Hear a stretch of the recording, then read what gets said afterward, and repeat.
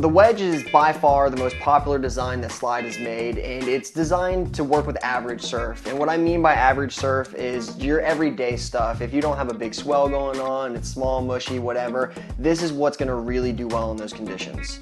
That being said, the wedge is a 90% solution for most people that don't have great waves, but when you use it in that other 10% when it's firing, you're gonna be far from disappointed. This is a really great board in crappy conditions, and it's an even better board in really great conditions. You're gonna notice that we've got that, you know, swooping wedge design at the bottom, and we've got both of the rails coming in. Right here in the center, where my palm meets the wedge, it's a little bit thicker. And the reason for this is it makes it so much more forgiving. You know, if you are unfamiliar with body surfing and you want something that's gonna give you that little bit of extra push, this is why we've done this. This board is designed to make a really easy and positive experience when you're going out in any conditions. And like we said, they might not be the best, but this board will help you make the best out of any conditions.